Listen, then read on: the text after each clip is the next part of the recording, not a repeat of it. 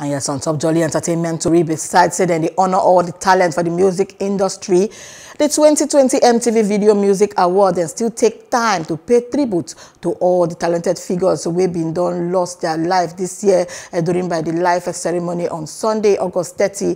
Among the stars uh, who have been they featured during uh, the memoriam segment of the show, Nanaya Rivera and Chadwick Boseman. And the show host Keke Palmer paid tribute to Chadwick and Sama this year's show dedicated to the late actor.